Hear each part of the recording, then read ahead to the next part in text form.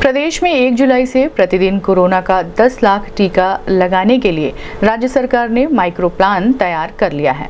Micro plan का क्रियान्वयन पुख्ता तरीके से हो, इसके लिए प्रदेश में अलग अलग क्लस्टर बनाकर 17 जून से 26 जून तक ड्राई रन की तहत टीकाकरण कार्यक्रम को बढ़ाया जाएगा। इसके तहत प्रदेश के सभी जिलों के एक तिहाई विकास खंडों में चार क्लस्टरों में पायलट के रूप में इसे क्रियान्वित किया जाएगा।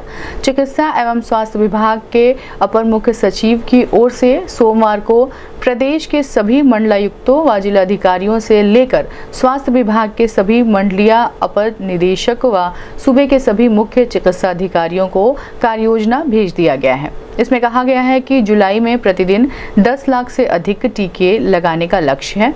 लिहाजा प्रत्येक ज़िले की अपनी कार्य योजना अभी से तैयार कर ली जाए।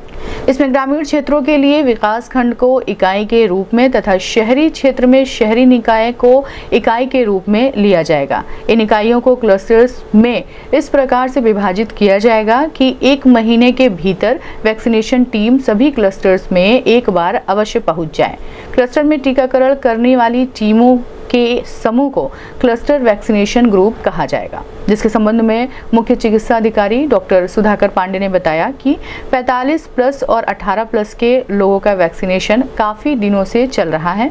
जो जागरूक लोग थे, उन लोगों ने वैक्सीनेशन करवा लिया। जो लोग वैक्सीनेशन के लिए आगे नहीं आ रहे हैं, उसके लिए सरकार की योजना है कि क्लस्टर की तरह ग्रुप बनाया जाए। दो गाँव, तीन गाँव मिलाकर एक सर्वे किया जाए। निगरानी समितियों, प्रधानों और दूसरे विभागों के साथ मिलकर लोगों की एक लिस्ट तैयार की जाए। जो लोग उस गाँव में 18 प्लस के ऊपर हैं 45 प्लस के ऊपर हैं, उनको वैक्सीनेशन के लिए प्रेरित किया जाएगा। उनको बीमारी के बारे में और वैक्सीनेशन के बारे में बताया जाएगा। और उसके दो दिन बाद हमारे स्वास्थ्यकर्मी टीकाकरण के लिए उस क्षेत्र में जाएँगे। चाहे हमारा कोई विद्यालय हो या सरकारी भवन हो, अस्पताल हो, वहाँ पर लोग आएँगे और टीकाकरण कराएँगे। ये गतिविधियाँ दो से तीन दिन चलती रहेंगी। यही क्लस्टर फिर से दूसरे गाँव में आगे बढ़ जाएगा। फिर सात दिन बाद वही क्लस्टर वापस आ जाएगा, जहाँ पर कोई यदि छूटा हुआ है तो उसका भी वैक्सीनेशन हो जाए। इस तरह से हम लोग अधिक से अधिक लोगों का वैक्सीनेशन 100 प्रतिशत करा पाएँगे। उन्होंने कहा कि जनपद में 21 जून से ट्रायल शुरू कर दिया जाएगा। 1 जुलाई से वृहद रूप से इसका मोबिलाइजेशन होगा। इस संबंध में गोरखपुर न्यूज़ से बात करते हुए मुख्य चिकित्सा अधिकारी डॉक्टर सुधाकर पांडे ने कहा। इधर जो है पैंतालीस प्लस के लोगों का जो है वैक्सीनेशन क्योंकि काफ़ी दिन से चल रहा था तो जो जागरूक लोग थे, उन्होंने तो वैक्सीनेशन करा लिया।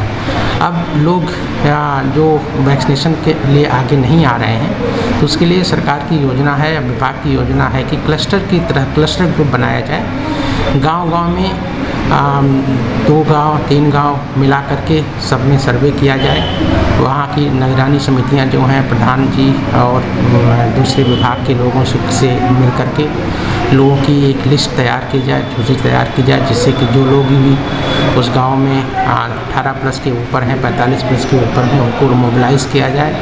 वो ये बीमारी के बारे में और इम्यूनाइजेशन के बारे में उनको बताया जाए। और उस दो दिन बाद जो है, हमारे स्वास्थ्यकर्मी जो हैं, टीकाकरण के, वहाँ उस एरिया में जाएँगे। चाहे हमारा कोई विद्यालय हो या हमारा कोई सरकारी भवन हो या हमारा खुद का कोई अस्पताल हो, वहाँ पर बैठेंगे और लोग आएँगे, उसका टीकाकरण कराएँगे। ये गतिविधि जो है दो दिन, तीन दिन चलती रहेगी। फिर से आगे एक यही क्लस्टर एक आगे बढ़ जाएगा, दूसरे गाँव में बढ़ जाएगा।